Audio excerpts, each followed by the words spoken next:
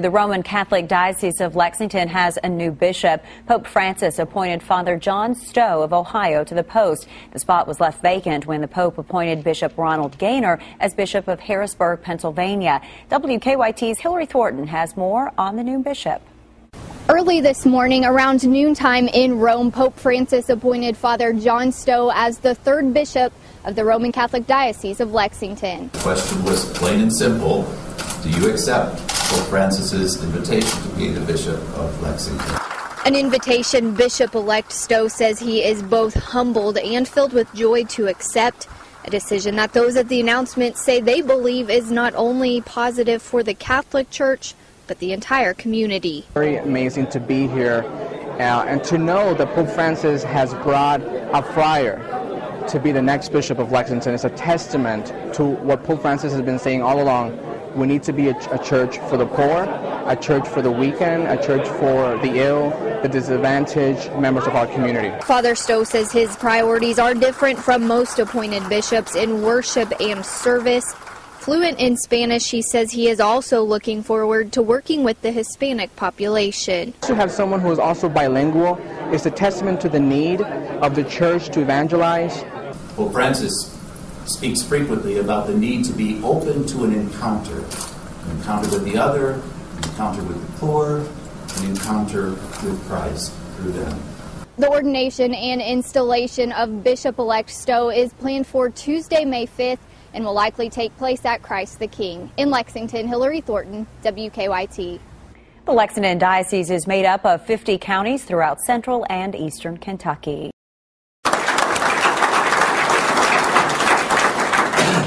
Thought maybe they'd have blue smoke here.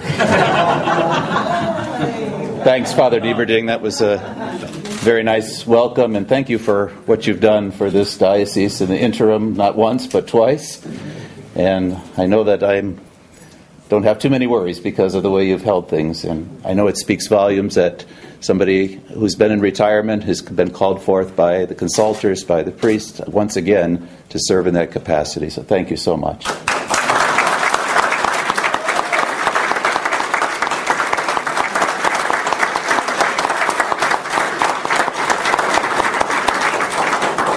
And the bishops of the state of Kentucky, thank you. The Commonwealth of Kentucky, thank you so much for being here. Where to start? Funny thing happened on my way to Costa Rica a couple weeks ago. I'm known in the Franciscan province for not carrying a cell phone and not having to use one when my mother plants one on me when I'm traveling. And so, Brother Randy, who is one of the counselors of the province as well, and I were on our way to the airport in Cleveland and to fly to Costa Rica for a meeting with our friars there in Central America. Brother Randy gets this text on his phone that he notices when we pull into my parents' house. We're going to park the car there and they're going to take us to the airport in Cleveland. So Brother Randy gets this text and it says, uh, Brother Randy, I understand you are traveling with Father John Stowe. It is urgent that I speak to him before he leaves the country.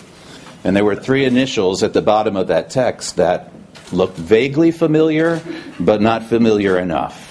So then Brother Andy goes through and he listens to the voicemail. He says, He sounds Italian, and the call is from Washington.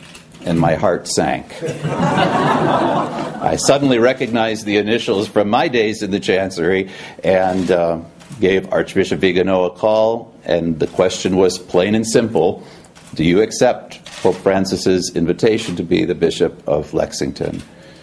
My answer was, I love Pope Francis and I would do whatever he asks. So, so here I am.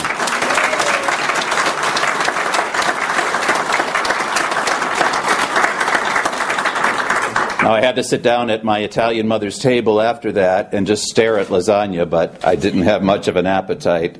She knew something was up. Now they know. Obviously, this has been like nothing else that I've ever experienced, and this has been a Lent like none other for me. I'm both filled with joy and humbled to be here before you this morning. So very grateful to Archbishop Kurtz, especially, who has warmly welcomed me to this region and has been so attentive to me in this period of shock. I'm also grateful, as I said, to Father Bob Nieberding, who has taken the reins of the diocese during an interim period and I'm sure he will provide, continue to provide me with a great introduction to this community of faith. What do I know about Lexington? I know I have to learn a lot about horses and UK basketball. I know a thing or two about bourbon. But actually, the little I know about this diocese comes from my participation in a Franciscan Peace and Justice Conference back in the 1990s when we gathered to learn about Appalachia. I remember an incredible trip from the Lexington airport to places like Hazard and Harlan through fall foliage that I had not seen because I was living in California at the time. I learned a lot about the importance of the environment in that visit, surrounded by that great beauty. And I learned a lot about the history of the struggles of the people of Appalachia. And I was deeply impressed by the signs of enculturation I saw there, like quilts and rocking chairs in the churches. I learned that a holler didn't necessarily have anything to do with shouting. And I learned that the church can be vibrant and make an impact and transform lives, even when it only makes up a small percentage of the population. I'm inspired now to hear about the ever more visible presence of our Hispanic brothers and sisters in this diocese. As is the case throughout the entire nation, Latino Catholics are a growing presence. Much more than that, they're a life giving presence in the American church. We tend to forget that the church in the United States has always been a church of immigrants. We can be proud of the many success stories of integrating populations from other lands into the American culture through a network of Catholic institutions throughout the course of our history. Our parishes, our schools, social service agencies, hospitals, and other institutions that grew up and served in a variety of ethnic communities were very successful at integrating immigrants into the mainstream of society and the church. And sometimes they were so successful at this that the next generations needed to hear what the children of Israel had to learn again and again. Remember that you were once strangers and aliens. Now the church has to rise to meet new demographics and new waves of immigrants who are already part of our Catholic Universal Church, and we must learn to celebrate the gifts that they bring.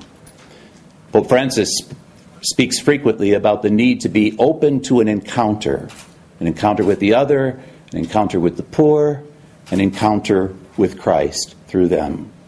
New immigrants provide a great opportunity for that encounter. En mi experiencia, los católicos hispanos muestran un entusiasmo para la fe que no se encuentra en otros lugares.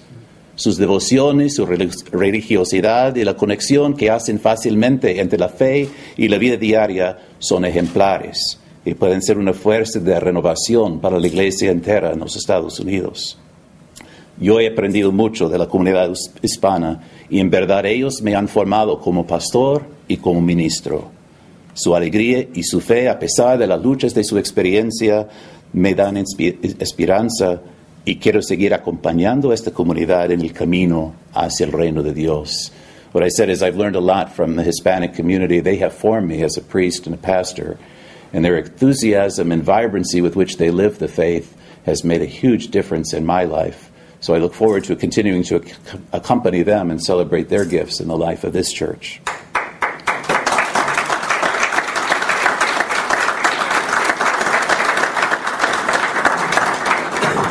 I understand that Catholics make up only 3% of the general population of the 50 counties that comprise this diocese. So the challenge for us as a local church then has its root in the gospel to be salt, to be leaven, to be light in society. And salt, leaven, and light in society or anywhere are easily taken for granted when they have their desired effects. They're noticed in their absence we will need to continue to ask ourselves what difference our Catholic presence makes in this central and eastern part of the state. How do we bring good news to all people, not just the ones on our rosters and in our pews? Material poverty is clearly a significant issue for a great percentage of our population. What a great context for putting the gospel into practice. Jesus described his own messianic mission as one of bringing good news to the poor. We must do the same. Pope Francis has stated repeatedly that he wants a poor church for the poor. We certainly have the ingredients for that church right here. Pope Francis also calls for a missionary option in the church, not a focus on self preservation, but an outward looking church ready to provide all people with an encounter with the presence of the living Christ. I really look forward to seeing what's already going on in this diocese, the mission work that is being accomplished and I'm honored to become part of its missionary presence. I see that there's a great representation of women religious here in this diocese. Thank God. So often it has been the sisters who are in the front lines of putting the gospel into action in the loving service that Jesus demonstrates for us. I look forward to getting to know their ministries here. And the presence of fellow men religious in the diocese is a source of comfort and encouragement for me as well. As grateful as I am to Pope Francis for this appointment, and as enthusiastic as I am to live my vocation as pastor in this local church, I must admit that I will grieve the change in relationship to my Franciscan community, a community that has loved and supported and formed and encouraged me throughout my religious life and my priestly life. I grew up around Franciscans. I entered the Franciscan community shortly after high school and then grew up some more with their help. And there are no words to express my gratitude and appreciation for my friars in the province of Our Lady of Consolation. A Jesuit pope by the name of Francis sends you a Franciscan bishop trained by Jesuits.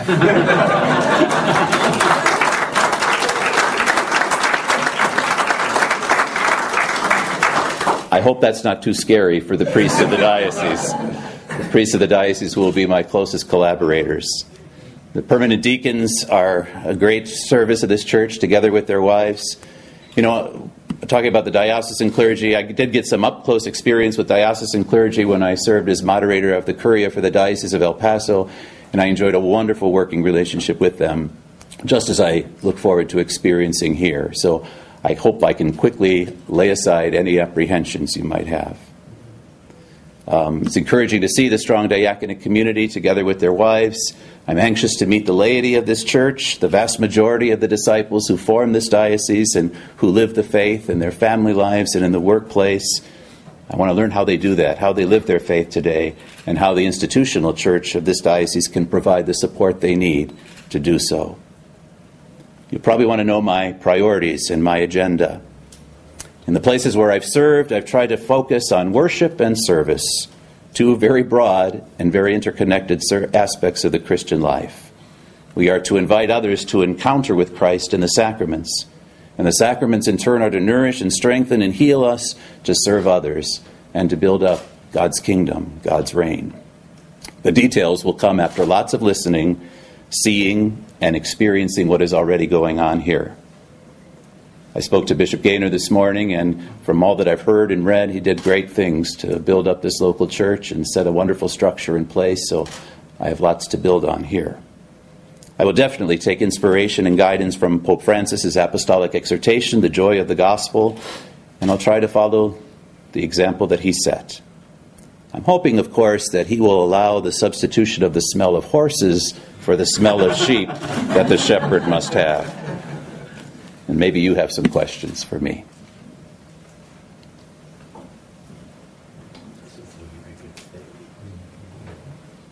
Do you know when yet you'll be uh, installed? yes, we're planning the installation for the Tuesday, May 5th, after Derby Day.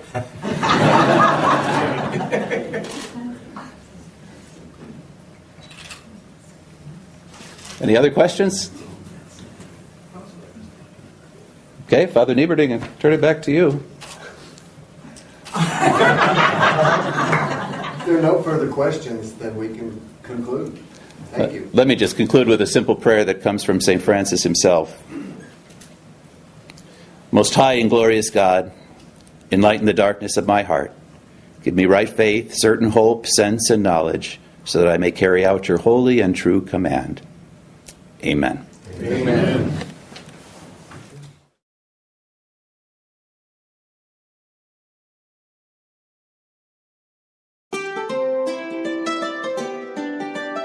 One of the things that really endears people to Pope Francis is the use of images in his speech and in his writing. And perhaps of all the images that he uses, when he speaks about the church as a field hospital for sinners, that's just loaded with implications for us, especially in a season of conversion and repentance. Imagine a tent set up near the battleground where people come to be nursed back to health.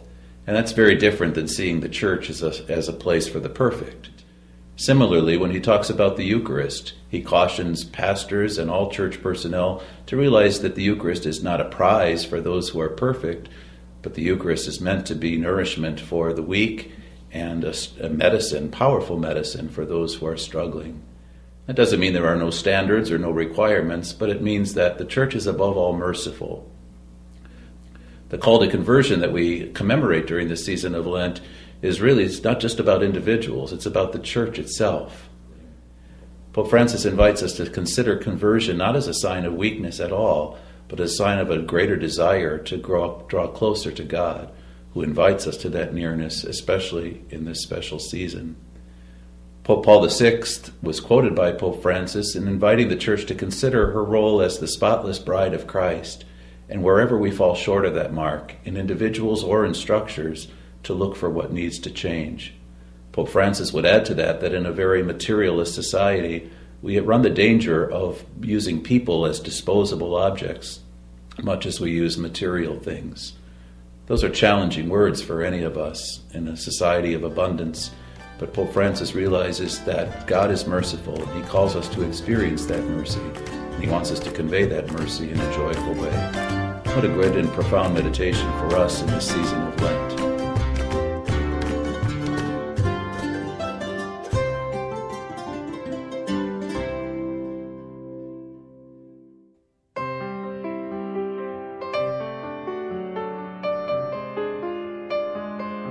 So we've recently just celebrated the first anniversary of the election of Pope Francis.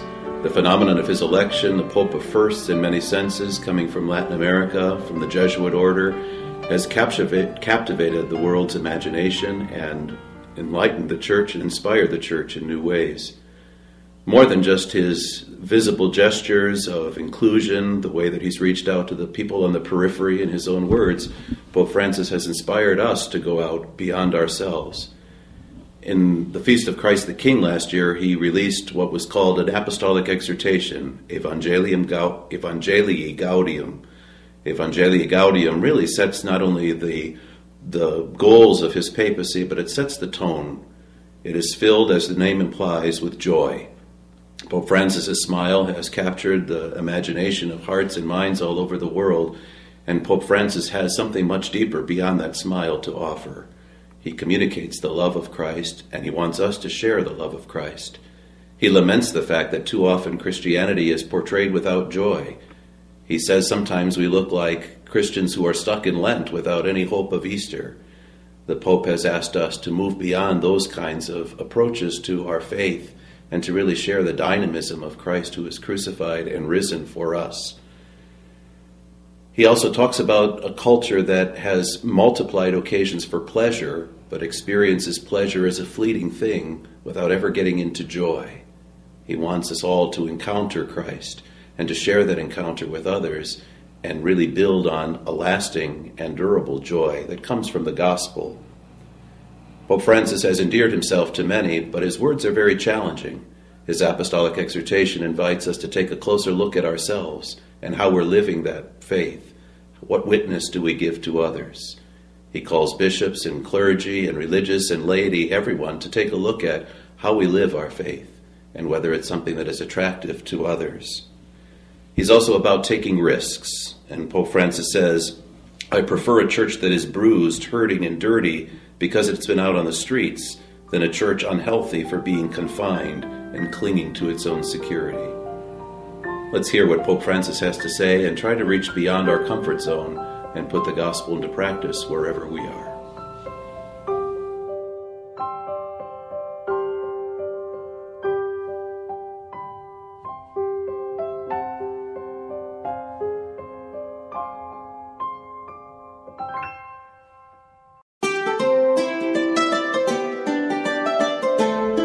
Francis's apostolic exhortation Evangelii Gaudium is filled with the desire to see a church that is more missionary once again. It was Pope Paul VI who said that the church exists to evangelize, and Pope Francis really employs that broad understanding of all of the church's activity has to be missionary in nature. He asks all of us to take a look at what we are doing, how much of our pastoral work is about administration, how much of it is about maintenance, and how much is really about reaching out to those who most desperately need to hear the Word of God. When we think about the joy that characterizes that whole apostolic exhortation, we see it in his person. We see with the way he interacts with the crowds and especially with the vulnerable. But he calls the church to renew its reaching out to the margins, going out beyond itself. He invites all of us to get out of our comfort zones and really be about bringing Jesus Christ to the places where he's needed the most. There are ways in which each of us each of us can do that. Pope Francis has given us a great example. His smile and his manner says so much. Are we that kind of Christian? Is that how we invite people to our communities of faith? What can we do to spread the joy of the gospel?